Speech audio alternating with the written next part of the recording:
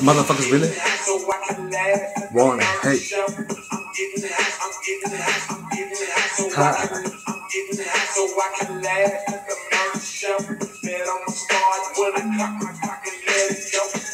If you really wanna bring that shit, motherfucker, you can get up to date. Cause I got this food up on my plate. Camp Crystal Lake, shout out to that Triple D. Jason mask on my face, and you know I'ma catch a fucking case. If you really got them body bags, toe tags, then you know I'm about to zack like a fucking witch. Even script up on my wrist, on that other level shit. Third mention, yes, that's where we're stuck. Trying to get to the fourth, even fifth, cause I need to transcend above all this bullshit. I don't need to reminisce any longer for these hoes. Yeah, you know I stand up on 10 toes. Shout out to M10, where I got my original woes. If you really think that you know, come and feel my pain, cause I'll let it fucking blow. Keep this rage caged. If you think you know, then come close, cause I'm about to let you motherfuckers know.